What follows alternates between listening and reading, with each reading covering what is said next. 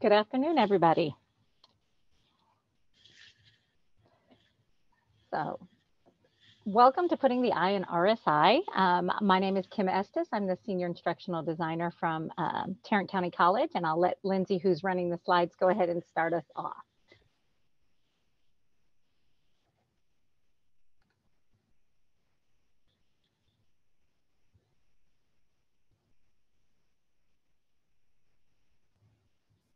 You're muted, Lindsay. check out.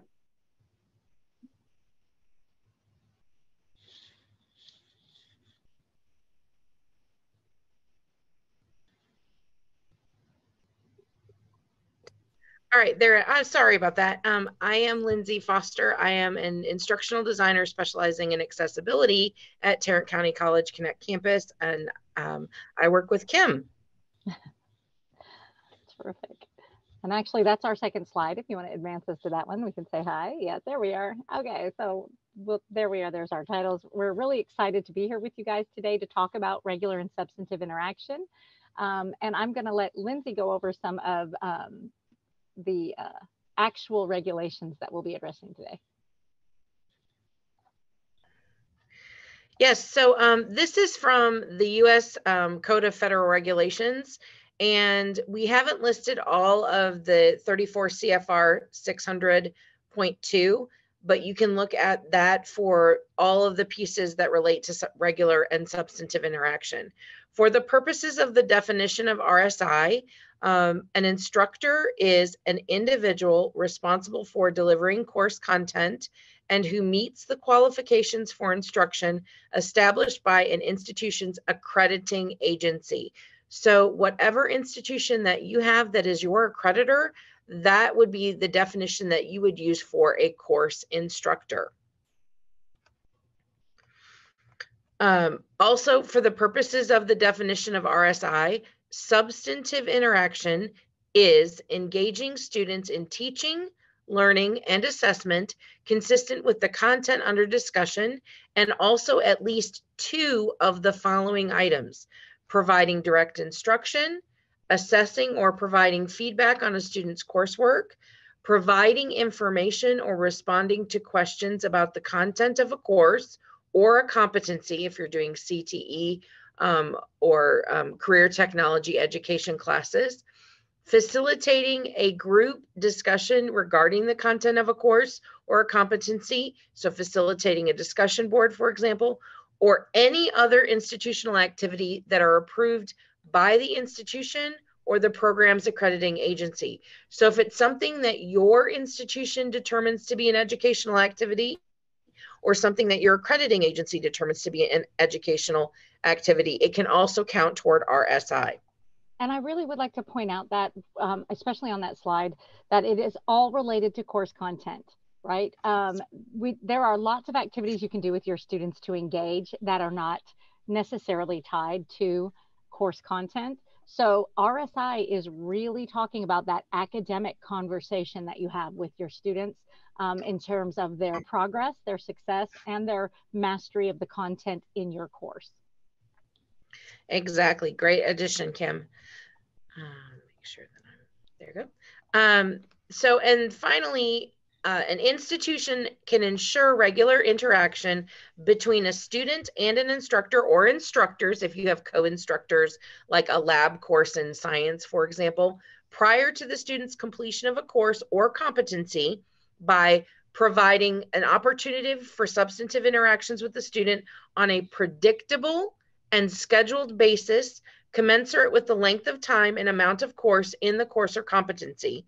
So, for example, if you have a 16 week course, the predictable and scheduled basis would be different. Um, it might be slightly less frequently than it would be in an eight week or a five week course, both of which we offer here at TCC.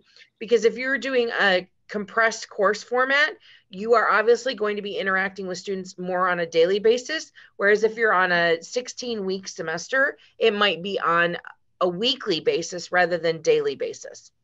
Absolutely. monitoring the student's academic engagement and success, and ensuring that an instructor is responsible for promptly and proactively engaging in substantive interaction with the student when needed on basis of such monitoring or upon request by the student.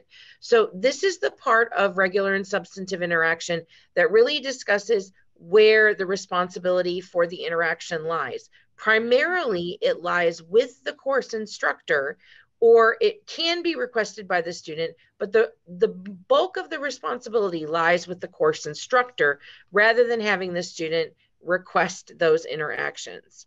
Right, and I would like to point out in point um, point uh, the very first point too. The regular and substantive has to be scheduled. So this isn't email me if you have a question, or um, you know, um, I can jump on chat if you if you contact me. This is regularly scheduled interaction that the students are aware of and know that they can participate in. And we're going to break that down in the next couple of slides because a lot of that is really recent. Um, the the Department of Education put the regular and substantive interaction um, qualifications or, or clarifications in in June 2021 due to responses from um, universities and colleges that had been kind of dinged and, and had been uh, found lacking by the organization, but they argued that these were not clear. So what you're seeing here is a clarification from the Department of Education so that universities and colleges will know what exactly they're looking for for RSI. And in the next couple of slides, Lindsay's done an amazing job of breaking this down for you and showing you what this means really for your faculty. What is their responsibility? What are some examples of how they can do this? And so um, let's go ahead and let's get started with some of those examples for you guys. All right, so one of the first things that you can do as an instructor or you you as an institution can do for your instructors is to um, emphasize personalized specific feedback. Um, the instructor providing feedback that's both customized to the student and specific to the work. Um, Kim, do you want to talk about those three points? Um, absolutely. So, feedback provides information to the student that they can use to understand where they're being successful and where they need improvement. So just a, a multiple choice question and you got it right isn't really specific feedback. Anyone can get that. It doesn't explain to them why their answer was right, why their answer was wrong, or give them suggestions for um, rereading materials. So really the, that feedback needs to be personalized to the student. Um, it can be a rubric Rubrics are used to grade and facilitate constructive feedback in key areas. If I am a student and you've graded my paper on a rubric and you mark on the rubric in my LMS or tell me which part of the rubric I got and your rubric is descriptive, then I know exactly what I have and what I'm missing. So a rubric also fills this requirement.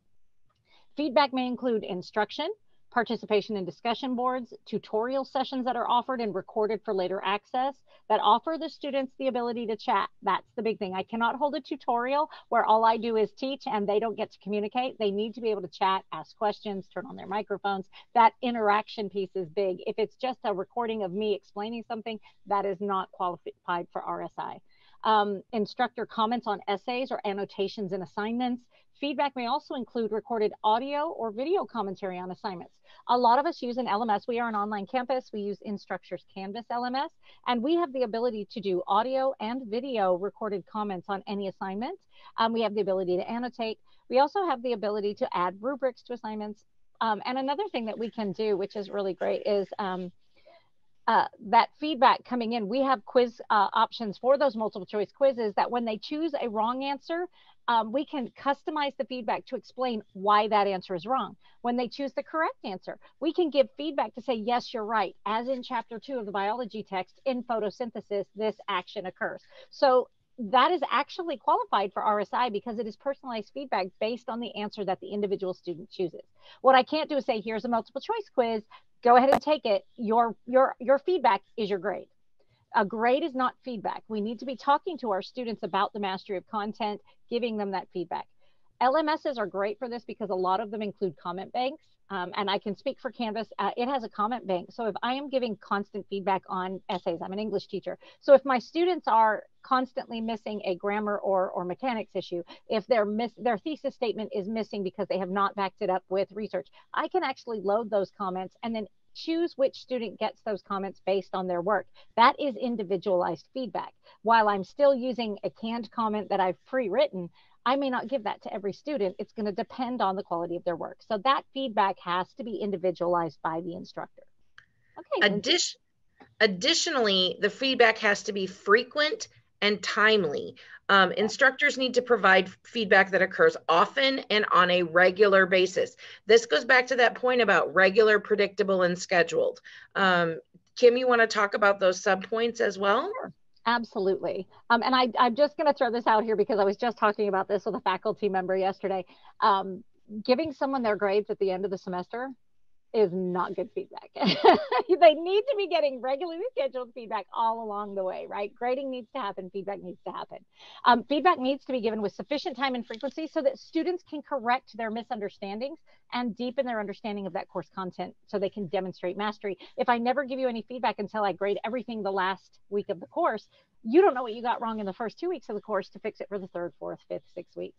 Um, instructors consistently and regularly need to respond to student questions during the expected stated time, as in office hours, or um, they need to frame or communicate in advance as possible when delays would be expected. We just had an ice storm in Texas, and I know that the weather there in, in uh, San Juan is beautiful today. My president um, did a video chat with me. He's there at the conference. I'm very jealous and wish I were there at the conference. But um, I need to, we need to be able to in advance let students know when there's going to be a breakdown in that communication. And then we need to make an effort to communicate with struggling or absentee students who are likely to benefit from early intervention. A lot of um, LMSs have features mixed in where you can email a specified group of students. So, um, for example, in Canvas, I can go to my gradebook on an assignment and I can tell it to send a message to every student who has not yet submitted or every student who possibly um, scored a failing grade on that assignment, to reach out to them, to communicate with them. I am actively, proactively contacting my students who are struggling and letting them know what resources are available. I have office hours, I have tutorials. Hey, here's an extra article. I saw you were struggling. Um, I see you have not been in class. Are you okay? Do you need some additional help? Is there something I can do for you? That kind of interaction has to take place and it has to be regular and it has to instigate from the instructor. And I would add to that um, when you're talking about sufficient time and frequency, many institutions have policies regarding um, the amount of time that elapses when a student asks a question or uh, turns in an assignment and an instructor responds to that. Here at TCC, um, at Connect Campus, it's typically that the feedback has to be provided on an assignment within a week of submission so that it's not at the end of the semester, at the end of the term, or waiting into the midterm and the student has no idea where they stand in the class. So make sure that if you don't have those kinds of policies in your faculty handbook available, make sure that you put in a policy about expectation of responding for email um, on assignments, those kinds of things, so that students know when they can expect to receive a response. Absolutely. It's very difficult for faculty to meet that goal if those expectations are not in their faculty guide. And, and here at Connect, we have a faculty guide that not only tells our faculty how many office hours they have to have, um, and, and we are a virtual campus, so those are virtual office hours, but it also tells them how quickly they should respond to email and um, in their grading policy when they're going to communicate that that information to their students so that it needs to be written into your faculty guide if you don't already have that it's difficult for instructors to to follow along if we don't do that so on this slide, we've just put together, this is a, um, a checklist, and I use that term loosely because it should not be a, yes, I did it, so I can check this off, therefore I have met RSI. This is more of a checklist of, do I do this? Could I add this to my course? Or suggestions um, on ideas on ways that you can provide feedback um, mm-hmm. and different tools that you can use to provide feedback. I'll go over the top row and Kim's going to do the middle and the bottom. Um, so you can use your syllabus to help you support RSI by defining the response time for students on questions and assignments, which is what Kim and I just talked about.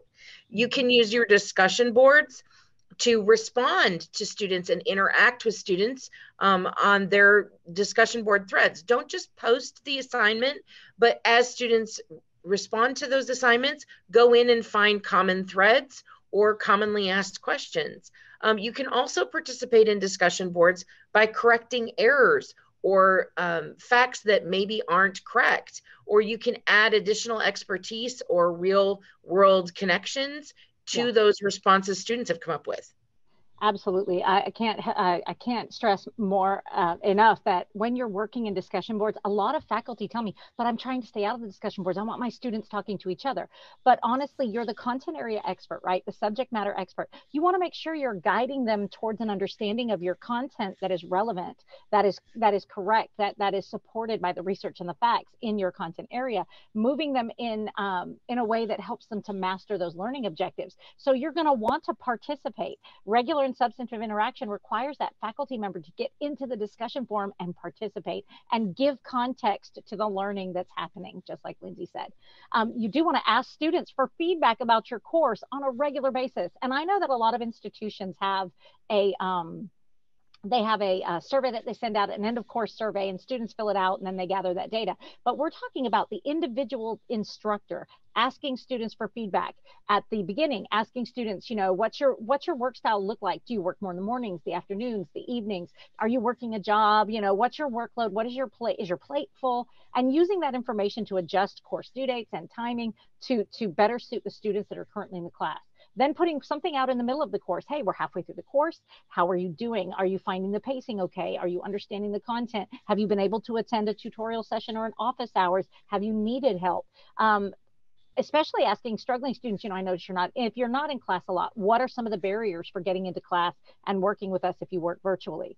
Um, you want to revise or update course content based on that. And then, of course, at the end of the course, asking them how they feel. What did you learn? Do you feel like the the um, the information in the syllabus was addressed in our course? What did you like about my course? And what can I do to make my course better? And a lot of faculty avoid this like the plague because it's very difficult to gather that information about yourself, right? We are all subject matter experts. We love our topics. We want to talk about it. And it's hard to hear that perhaps we're not conveying it in a way that works for students. But that's exactly what we need to do for regular and substantive interaction. We need to reach out to our end users and talk to them, our students, our clients, our, you know, um, our responsibility, and then take that responsibility back to our course and make that work. Um, you can um, again, uh, use existing feedback tools to redirect or support students' learning and assessments. I spoke about the quiz feedback, redirecting them to content when you see a student struggling, providing additional resources and having a conversation one on one with that student, either face to face or vi- virtually, to provide them with additional resources. Reaching out to that student when you recognize a misconception or a lack of skills and providing them resources to build that back up or correct that misconception is part of RSI. It's also part of best practices for teaching, right? A lot of RSI you're going to find is practical application of best practices in teaching and learning. Um, you can also respond to discussion. Oh, I didn't do the bottom row. Sorry. Discussion board threads by commenting on common topics, which we covered, um, providing that feedback, and then summarizing student responses. Um, a lot of uh, we have a faculty member who goes back in and she chooses one student response, and she will um, she will summarize that to the rest of the class, and then talk about it. Uh, she does a brief video, puts it in the announcements, and then they get an announcement about the discussion once it's graded. And she says, You know, I was reading Michael's uh, contribution, and here's something that I found that really applies to what we're studying. And, and so she pulls that out and breaks that down and gives context. So that's another way to make that work with the discussion boards. Sorry, I didn't mean to make you jump. Um, no, no, so we're going to really talk. We're going to also talk about instructor presence because this is another piece of RSI where the instructor demonstrates a strong, engaging presence by taking an active role in the course. The key word here is active, and another key word is role. Um, you need to be active. The difference between a correspondence course and a distance learning course is that if a student could enter your course, start at the beginning of the semester, go completely through the course without engaging basically with the instructor at all, like read the material, take the quizzes, and finish the course, write the papers. Um, that would be a correspondence course. It really is no different than writing it on a piece of paper, sticking it in an envelope, and sending it through the mail. A distance learning course requires interaction and interplay, as we've already addressed, between the instructor and the students. So right. Kim is going to talk about these three points and, and expand on that. And I do want to point out, and, and, and I don't want to be a Debbie Downer and, and add anything that feels like threatening to this, but the difference between distance learning and a correspondence course is the Department of Education rescinding your financial aid for correspondence courses. So if you have students in online courses and you're dealing with RSI and you're found audited by your accrediting agency and found to be not in compliance the consequence of that is a rescind they will rescind the, the financial aid. You'll have to pay back the financial aid for those courses. So we want to make sure our instructors are aware that this helps with funding for students so that they can take these courses and advance in their careers and in their their academic and their career paths. So we want to make sure that we're meeting these um, not just because it's the right thing to do but it's also a compliance issue in order to to obtain financial aid for our institutions. Um, so the instructor needs to post regular and consistently pre- predictable announcements add course materials and resources, respond to questions, guide the discussion boards, provide feedback in meaningful and engaging ways with students to establish a presence in the course. You need to be physically and virtually present in your courses for this. You cannot disappear and say, just read the syllabus, just read the chapter and take the quiz. You need to be engaged. I mean, the purpose of the instructor is to help our students to put all of this information into context and to make connections, right? So that experience from that SME is very, that subject matter expert is very important. You want to write in the first uh, person where appropriate to establish your voice in the course material. Students need to get an, a sense of who you are as a scientist, as an English professor, as a writer, uh, you know, as a researcher, you know. So we want to make sure that we put some of ourselves in that class and be a present present person when when we work virtually a lot we lose some of that ability. You know if we if we come to a classroom and you get to know my my cheesy 1980s jokes i, I do a lot of those right? But if i don't bring that back into my virtual classroom they miss out on on getting to know me as a human being getting to feel my passion for my subject matter area and and really being able to connect to me in that way um, students should see evidence of instructor activity at multiple points throughout the week in the course. They should be getting emails or, or direct messages from you. They should see you in the in, in the discussion boards, um, in the announcements, um, getting to know you and your personality and how you apply your knowledge in this content area in the real world. So that's really and, important for students to connect. And to just add on to what Kim was saying, um, if you are thinking about a face-to-face course and moving to a distance learning course. In a face to face course, you walk in, you stand maybe at the front of the room, you pull up your your presentation deck for your lecture and you stand in front of the class and you lecture. You do not say to students a, a lecture room of 300 students, "Okay, I'm going to pull up the lecture slides and everyone is just going to read them while I click through them." Or I'm going to send them to your computers and you just read them while I stand here. You lecture, students raise their hands and they ask questions. This is the same kind of environment that we're trying to create in this virtual opportunity through instructor presence. So we're going to jump ahead and, and talk about some ways that you can do that with this RSI checklist. Again, this is not meant to be a list of yes, I did this, so I have I can check it off and say that I'm done with RSI for my course. This is more of a list of suggested things that will qualify activities if you need to make suggestions to your faculty. So I'll let Kim kick this off. Thanks. So we spoke about creating announcements and using announcement features in, in your online learning platform. Um, announcements are great and different ways to use them, not just the test is tomorrow, right? But also maybe including a summary of the previous week's work learnings or topics. We have a, an economics teacher who every every week puts up a topic that is hot in the news and explains how it's relevant to the economics that they're studying in their class. She um, she does really quick check-ins with her students. She, there's SEL, which is social and emotional learning. There's checking in with your students to say, hey, we had an ice storm. I'm just checking in on you. Do you all have Wi-Fi? Is everyone okay? Were you able to work?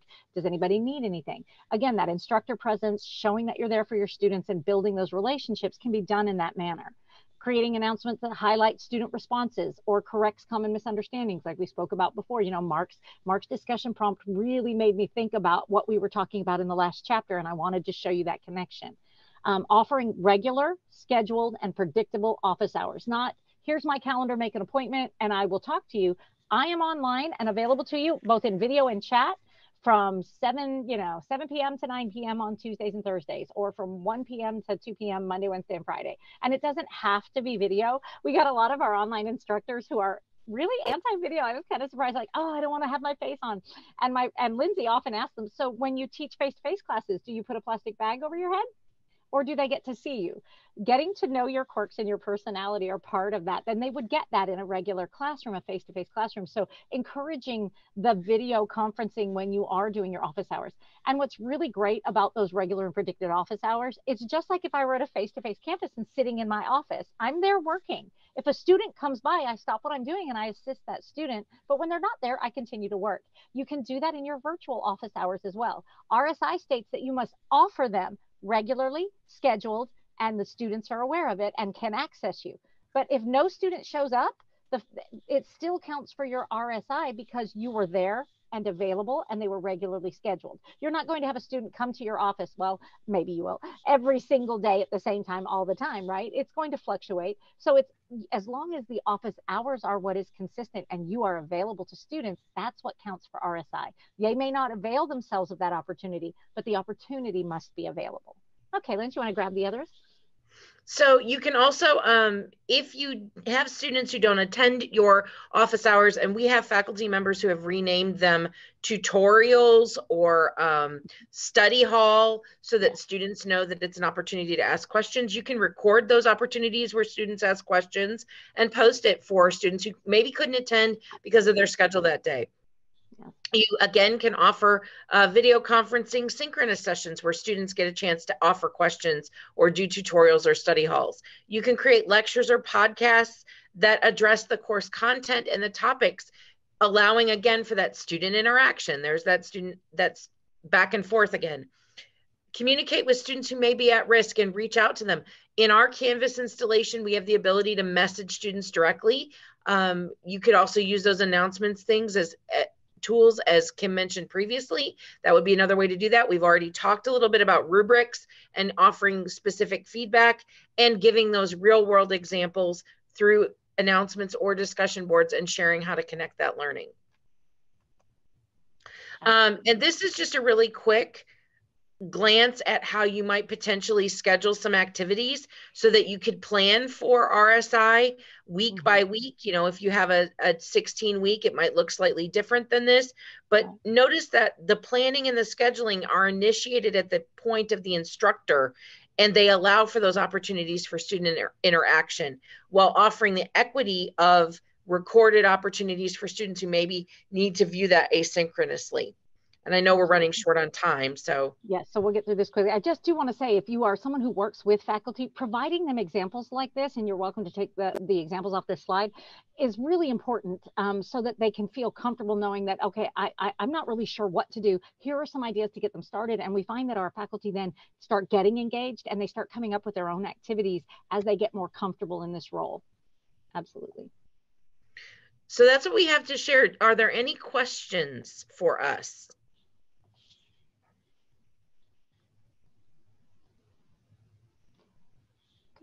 While we're waiting to see if there are any questions, I do want to offer um, one of the ways our department instructional design helps our faculty, our online faculty with RSI. We have offered a, um, a two-hour course, and it's an in-depth course that they can take and then receive a, a, digital badge for for completing that says that they've been through RSI. And they actually, it's a it's a hands-on participatory course where they create things so that they are comfortable creating in this environment where they're thinking about that regular and substantive interaction.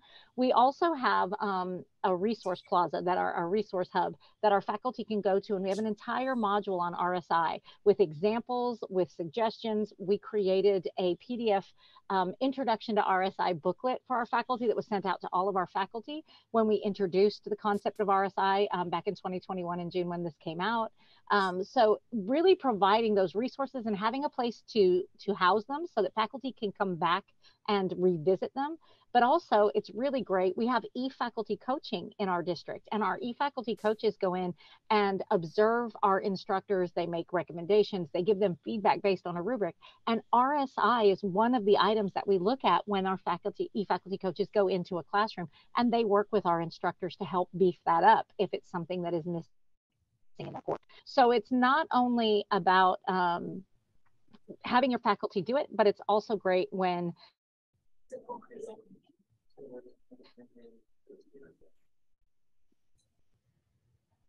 I think Kim froze. Must be cold where she is. it is cold where we are. Yes. And this is Paul Sale from uh, University of Texas, Rio Grande Valley. I'm wondering if you see any language in any of the accrediting bodies um, audit checklists. Has it made it to those yet, or how, Um, how what material must we provide? So part of my position is to monitor those uh, various things that are going on in the legislature. I have not yet seen a checklist specific. Uh, there are several institutions that have created their own resources, and we have some. If you need to need some to share, that make sugge- make suggested activities for those who are looking for things that you can connect similar to what we shared today. Um, literally, we have an Excel sheet, we have um, a Canvas uh, cartridge that we can share with you. But I have not seen anything from the Department of Education that's been issued that's official. Um, you might ask your accrediting agency, ours is SACSCOC, um, but you might ask your accrediting agency, particularly if you're in an accreditation year, uh, because that will be something that they're looking for. And they are one of the triggers that can cause an audit of your of your courses i would just say particularly here at tcc one of the things that we've done is the federal government requires two of the five interactions tcc has added an additional third requirement for our faculty so we're, we're making that step above and beyond so that we make sure that we meet those things um, and we are not found to be out of compliance Thank you. You're welcome. And Mandy, I see that you're interested in the Canvas cartridge. If you just send us an email, we'll be happy to share that with you.